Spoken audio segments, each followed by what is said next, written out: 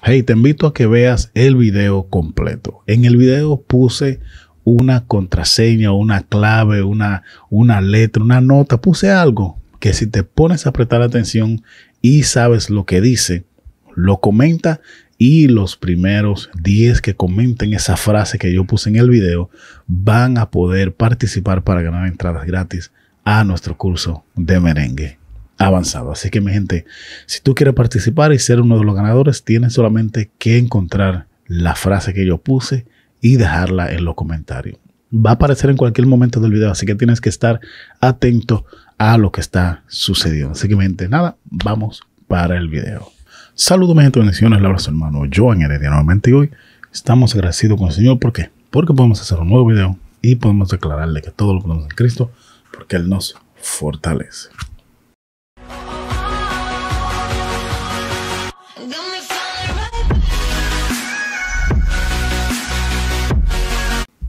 Y así como vieron el título de este video, vamos a estar viendo el Roland Go piano de 88 teclas. Es un DJ piano también. Alguien me lo puso en los comentarios y yo dije, vamos a ver qué pienso de este piano. Me preguntó también qué pienso del Roland Go, si es para principiante o no. Así que vamos a empezar con esta video reacción.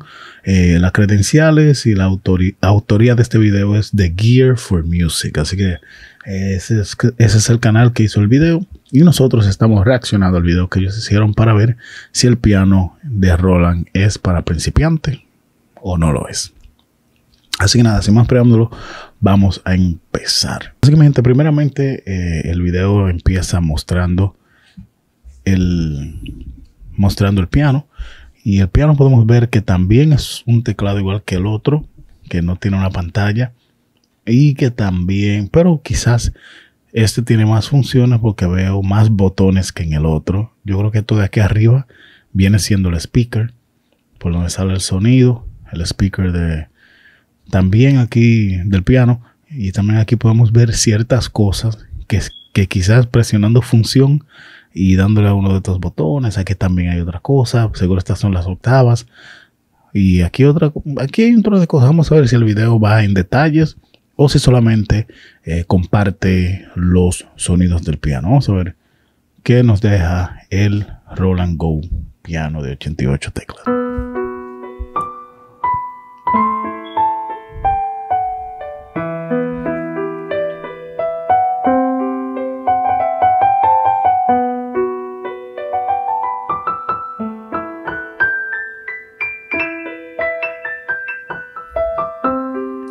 Entonces empezamos rápidamente con el sonido del piano.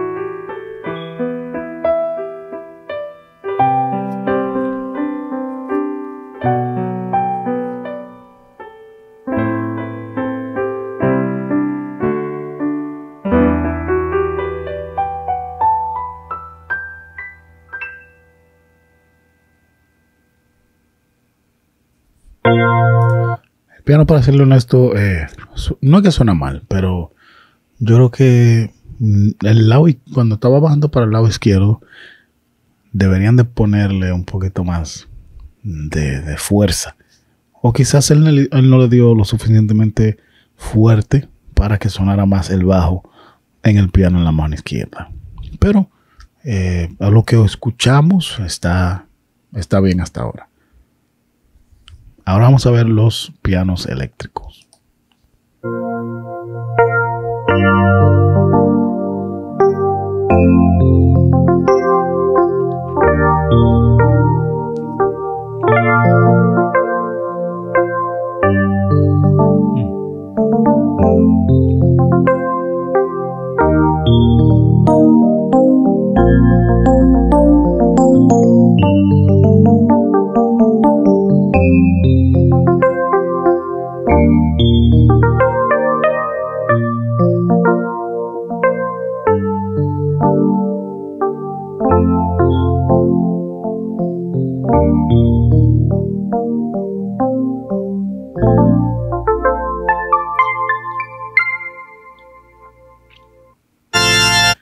Bueno, de una vez pasamos a los órganos. Eh, el electric piano, eh, este tutorial va un poco muy rápido. Y nada, hasta ahora lo que hemos escuchado, el piano, yo quisiera saber si trae más sonido. Así que saber si tiene múltiples eh, sonidos sería una buena opción. Y deberían de añadir eso para que nosotros tengamos una idea de cuántos, cuántas diferentes voces tiene este teclado. Pero nada, ustedes ven, ustedes que siempre están discutiéndome y diciéndome cosas de que piano no es teclado y teclado no es piano. Ustedes que siempre están comentando eso. Aquí ponen Roland Go piano. Esta es una compañía súper, súper alta. Y le ponen piano a esto que ustedes le llaman supuestamente teclado. Ustedes ven. Ustedes me están entendiendo ahora. Que a veces ustedes se la creen muy fino. Y nada, mira, piano, teclado es lo mismo para mí. Así mismo como nota o tecla.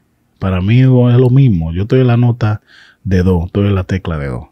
Para mí, eso yo, yo hablando. Así que nada, el, keyboard, el, tecla, el piano, el, sonido del piano, super nice. El electro piano también, super nice. Recuérdense que si no es exquisito, no lo queremos. Pero hasta ahora, el piano está sonando bien y el electric keyboard también sonó bien. Vamos a ver el órgano. No me gustó mucho el piano, el sonido del piano, pero no es que está horrible, está pasable.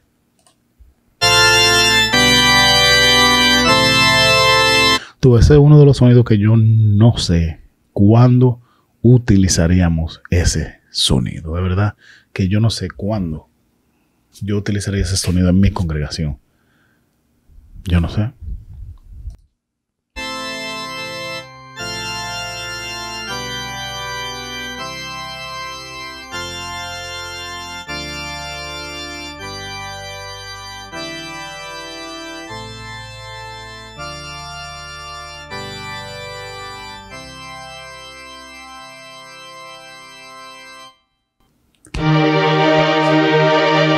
Los strings.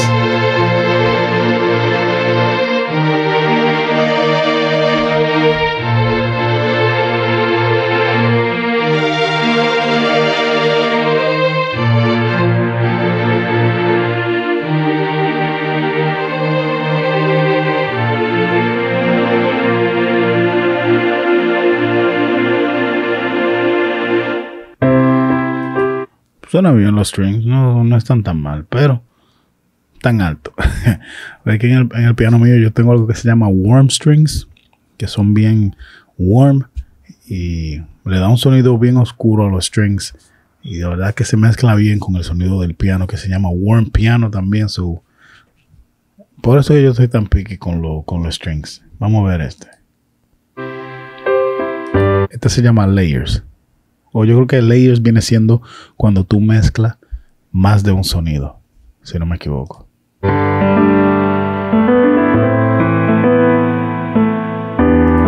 Porque escucho el piano y también escucho en el fondo los strings.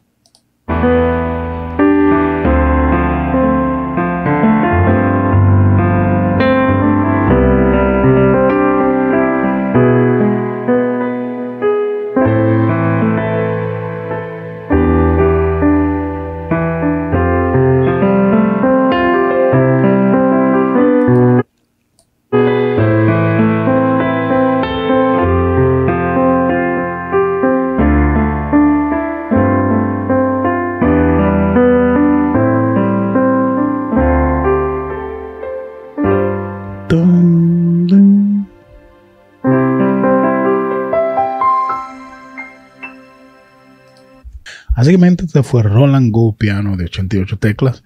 Eh, nada, este piano, los sonidos, lo que pudimos escuchar, eh, no fue algo de que wow, me voló la cabeza, pero eh, no sonó mal, no fue de que horrible tampoco, sino que sonó bien. Vamos a ver el precio de este teclado para determinar si, si es bueno para principiante o no, porque imagínate, dependiendo del precio que podemos decir que lo que hay. Bueno, Roland Go está por 400 dólares, eh, alrededor de 100 dólares menos que el piano que vimos ayer. Y nada, Eh, tiene algunos sonidos. Yo sé que debería de tener mucho más sonido. Pero para serte sincero, por eso es que uno en los videos, en los reviews que uno le hace a los videos, estas compañías deberían de incluir funcionalidades, cómo se hacen ciertas cosas, porque para ser sincero, yo me siento más preparado para tocar el piano que revisamos ayer y que vimos ayer y reaccionamos ayer, reaccionamos ayer a este, porque solamente vimos los sonidos y no sabemos cómo se cambian, cómo se hace esto, cómo las funciones que traen y así sucesivamente. Pero nada, no estoy diciendo que es un piano mal. Eh, estamos hablando de 400 dólares y nada, sí, para un principiante sería un buen piano para iniciar. No estoy diciendo que es malo, pero sí es un buen piano para comenzar, para aprender los fundamentos, para aprender lo, para aprender y poder dar los primeros pasos en el piano. Recuerda, que una de las cosas de estos pianos es que no tienen pantalla para saber qué tú estás haciendo. Pero cuando tú vayas evolucionando, cambiando del piano, te vas a dar cuenta que todos los pianos avanzados, que son de miles de dólares, todos o la mayoría, en su gran mayoría, tienen una pantalla donde tú puedes ver lo que estás haciendo. Así que si comienzas en este piano, cuando hagas la transición, vas a ver qué fácil es cuando tienes una, una pantalla para ver que estás haciendo. Así que mi gente, Roland Go piano de 88 es recomendable. De verdad que sí. Con 300 dólares está bien. Yo dije que entre 200 a 300 es algo para principiantes, que no es mucho. Pero 400 no es que está demasiado para allá. 600 un poco ya muy caro. 500 ya dobló.